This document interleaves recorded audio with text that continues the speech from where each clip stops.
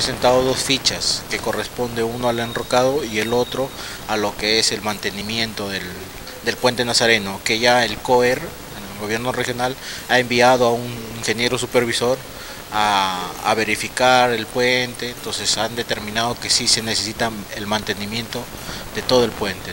Dos perfiles técnicos han sido entregados al COER para que puedan priorizarse dos obras como parte de los trabajos preventivos para Santiago de Cao ante la probable intensificación de lluvias. No, lo que nos preocupa es la, la zona del, del, río Chicama, la parte que le toca a Santiago de Cao, al litoral de Santiago de Cao, ¿no? donde se prevé pues que se enroque toda esa parte, ¿no? Todavía no ten, ya hemos presentado los, la documentación, las fichas, estamos a la respuesta de esto para que se empiece a hacer el enrocado y las zonas más vulnerables como puede ser pues el inicio de al costado de la del lugar de Sumanique, el centro pueblo de Sumanique, eh, Nepen y la protección parte del, del puente Nazareno, ¿no? Por el momento no, no hemos tenido ninguna información, Sí estamos este, en coordinación con, la, con el COE provincial de Ascope en reuniones constantes y eh, cambio de información para ver algún rezago ya que está habiendo algunas lluvias y está llegando agua, pero está por dentro debajo de su promedio. ¿no? Del mismo modo, ante la llegada de provisiones, el local que sirva de almacén ya no puede ser provisional, por lo que se maneja la construcción de este en el estadio de Cartavio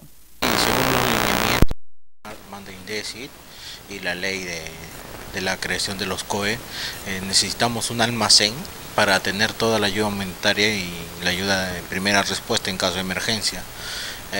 La Municipalidad Distrital de Santiago de Cabo ha previsto eh, construir un ambiente ¿no? para poder almacenar toda la ayuda que se tiene y la ayuda que posiblemente pueda llegar en caso de desastre. Y ayer hemos visitado un espacio en el estadio para la construcción de este ambiente. ¿Cuáles son las exigencias que está solicitando INDES? Un ambiente grande, seguro y que tenga vías de acceso, que esté cerca a las avenidas y a los lugares donde pueda salir inmediatamente los vehículos y todo eso. Entonces el estadio es una zona donde es una zona segura. Ahí cuenta con un guardián, se va a colocar todas las medidas de seguridad y está, estamos justo a la, digamos, a la salida para poder ir a las otras localidades como Chiquito y Santiago. ¿no? ¿Anteriormente dónde estaba ubicado este? Bueno, ha estado albergado temporalmente aquí en la Casa de la Cultura en el segundo piso. Entonces vamos a trasladar cuando se construya el almacén en el, estadio, ¿no? el ambiente del estadio. Eh, recordemos que en el plan de contingencia está estipulado de que el estadio es el, el helipuerto, ¿no? en caso de emergencia es, es, el puente aéreo que se va a realizar eh, con, con, la ciudad de Trujillo o con la ciudad de Lima. ¿no? ¿Qué características va a tener este almacén?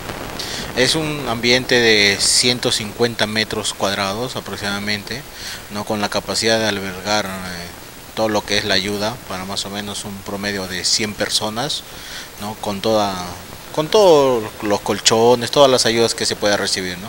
Como se sabe, Santiago de Cabo fue afectada por las intensas lluvias del último niño costero, por lo que acciones preventivas se avecinan para que la historia no se vuelva a repetir.